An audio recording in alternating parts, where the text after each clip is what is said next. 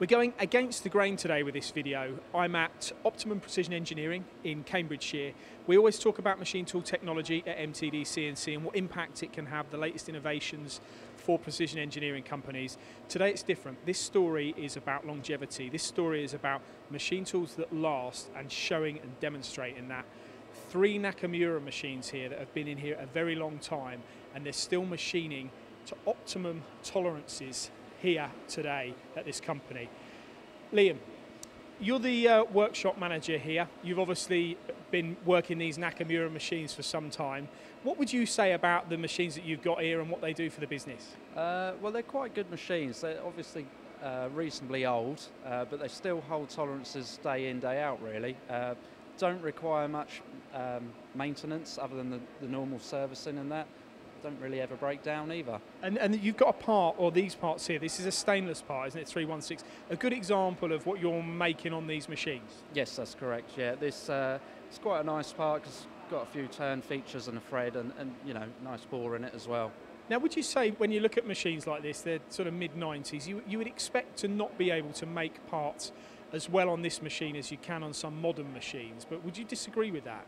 I would and I wouldn't. I mean, obviously, they've not got the capabilities of the newer machine, but they're solid machines, they hold tolerances all day, so they're still earning good, good amounts of money for the business. I could say this is probably bad news for the engineering technology group in some ways, isn't it? It means they can't sell you a new one. I suppose it could be, yeah, they could take it like that. But then they've got a good product, so Nakamura's are great machines. Now, we've got three machines here. Do you, do you know what, what the models are and roughly what age they are? Yeah, uh, we've got a TMC 15 in the corner there. That is early 90s. I believe that was the third NC machine Optimum as a company bought. Um, that has 10 turret locations. These two here behind me are TMC 18s, and they're sort of mid 90s, I believe, 95 ish. So we're going over two decades. Yes, yeah, and they're still holding tolerance as well. Are they just turning machines, or is there any milling function on them? I suppose we, would you have had milling function? Well, you would have had machines with milling function, but these are just turning. Yeah, they're just conventional two-axis lathes. Okay, now you did buy another Nakamura as a result of the reliability and the success you've had with those machines. So let's let's go and have a look at that okay, machine. Yeah.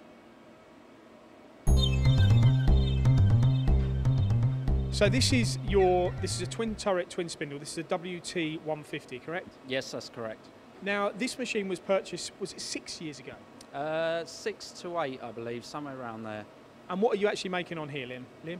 Uh, we make a varied uh, selection of components. Some just turned with holes on the periphery, some with full milling. Uh, pretty much anything that comes through the door. What, what's the biggest um, benefit to a machine of this nature, in your opinion?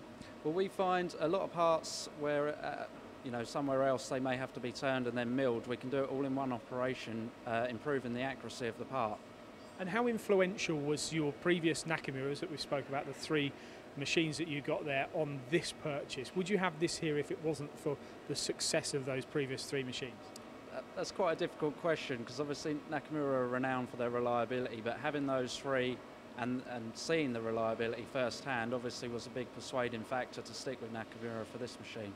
Now, production turning is always a, uh, a point of discussion, and this is a production turning machine, correct?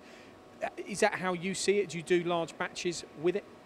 Uh, again, it varies on what comes through the door, but we'll go from sort of one-offs, two-offs, um, up to hundreds, 800 I think is one of the highest quantities we've had on this machine recently. So it, again, it, it sort of varies with what comes through the door. Of any type of material? Yeah, anything we'll cut, we'll try our hand at anything on it. Are you, are you uh, programming at the machine or offline? Uh, it's all programmed at the machine. Um, does, we don't have CAD facilities for this, so it's all done by the programmer's head it's amazing really to think that this machine is eight years old because you look at it and I think my first thoughts were it was less than a few years old. So it's it's aged well.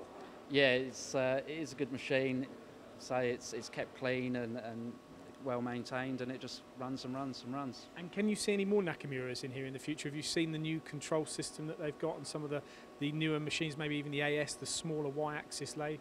It's certainly something for the future I think. Yes definitely